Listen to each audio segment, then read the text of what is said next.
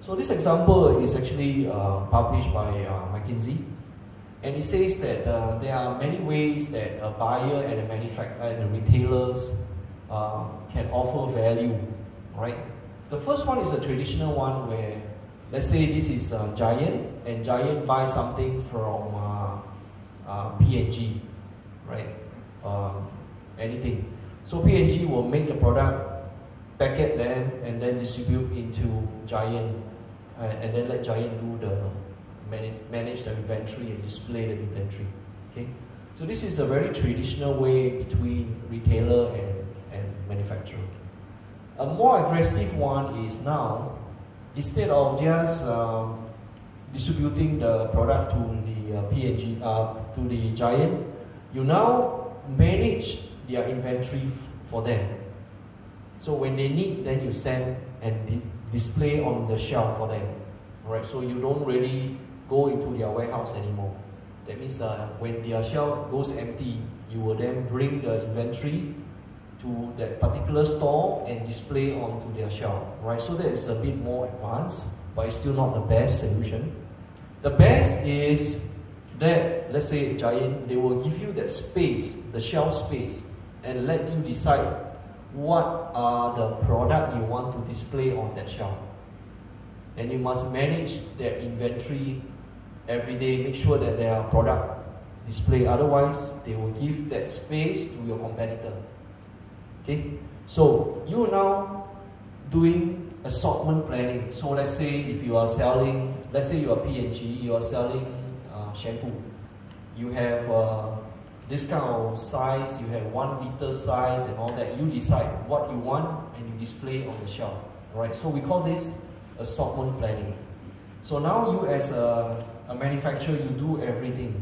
So you make, you packet, you distribute, you in, you keep for them, and then you retail for them. That means you decide what is the SKU good for each store, and then you deliver to them, and then you display on the shelf. So this is a the highest end in that, and I, so far I have not seen any in Malaysia that does that yet.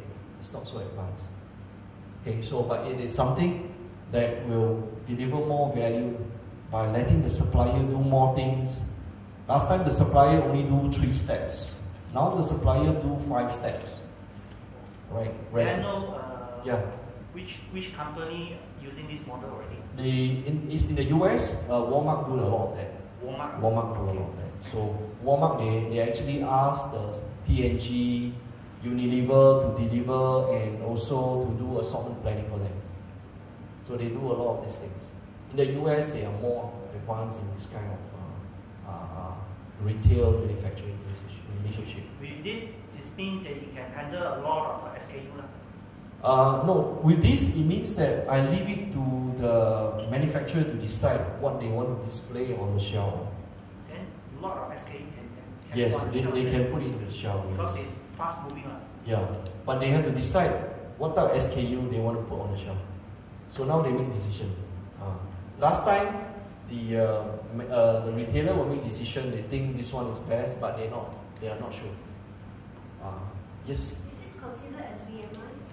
Uh, yes, it's still a VMI because the vendor manage the inventory. Yes.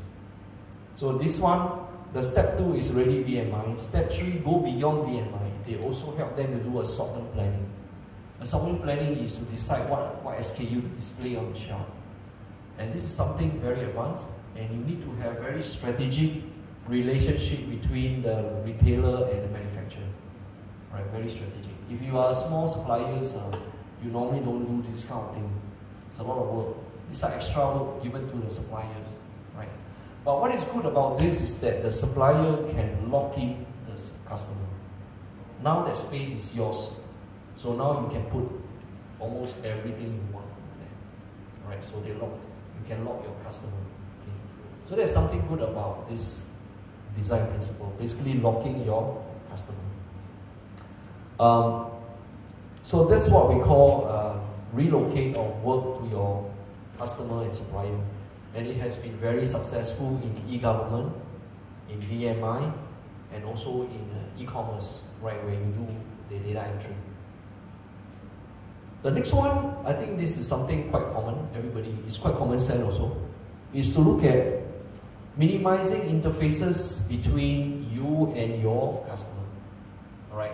When you have too many contact points, your customers also get confused. Who to call? Uh, which department to call when there's a problem. So try to minimize interfaces between you and your customer. And if possible, automate that. That would be good. Right? Try to automate that interface. And you can see that uh, an example is kiosk. Kiosk can be used as an interface between you and your customer instead of going into uh, uh, you know calling you or help desk. The trouble today is that uh, many of them use what telephone answering machine, right? You go to the bank, they ask you to call this number, and then number one is this, number two, until you say number nine is this, then you press number nine, right? So uh, again, there are some loss of intimacy, right? Because you're no, no longer talking to a person, you're talking to a machine, and some people are not very happy with that. So that is something maybe not very uh, suitable if you find that your customer felt that there's a loss of customer intimacy. Another one could be that uh, uh, it's not uh, able uh, to maintain consistency in organizing the, you know, the reply. So uh, it, it become very uh, inconsistent, as well as a lot of uh, resolution. So let me give you an example of what I mean by that.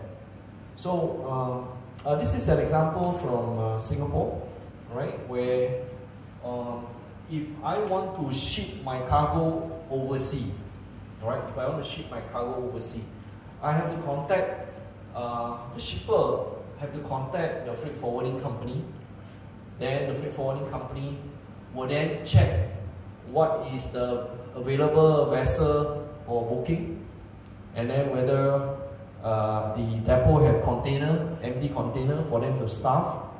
And once okay, they will confirm with the shipper, okay, this date is okay, right? So then they will uh, arrange for the empty container uh, to be trucked into the, the uh, warehouse and then load up the goods, and then they will book uh, a, a, time to be uh, unloaded into the port where the vessel will come in and then they will get shipped out.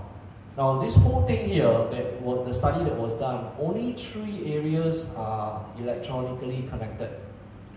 One is between the freight, uh, the truckers and the port operator to book the time. We call it the TT time into the port, right? You need to have time arranged to go into the port. Not everybody can go anytime. The second is the interface between the carrier and the depot operator who owns all these empty containers. Most of the empty containers are owned by carrier like NOL, uh, all, all kind of uh, COSCO and all that. And the next thing is that the third electronic connection is between the custom declaration system and your freight forwarding company. The rest of it are manually done by phone call, fax, right? And uh, also by SMS. Very, very traditional. So what they did was to see how they can make all this into a single point of contact. And that's so they re-engineer their whole process today in Singapore. And this whole thing is now called TradeNet, TradeNet Plus, Trade Exchange. Sometimes we call it Trade Exchange. So now, the freight forwarder, uh, when you, the shipper call the freight forwarder, the freight forwarder will have a portal, it will log into a portal called Trade Exchange that can book carrier, all right, book the PSA port, and then uh, book the uh, uh, book the declarations and also apply declarations, as well as um, they can also buy insurance on behalf of the customer, the shippers. And, and, and many other things that can be done. Now they can do it online before the, the ship arrive and then ship it out. So it's a single point of contact now through the freight forwarding company. They will just log into the system and do everything electronic. So now all these are electronically connected and including insurance, and payment, LC payment, between bank to bank. Now these are changing the whole way uh, trades are concerned. So this trade kind of trade logistics has evolved from very manual to very electronic. And uh, for this, uh, it has also reduced the processing time. Used to be, if you look at the previous one, it used to take three to four days to get all these things done. Three to four days. Today, with this, all this can be done within a day.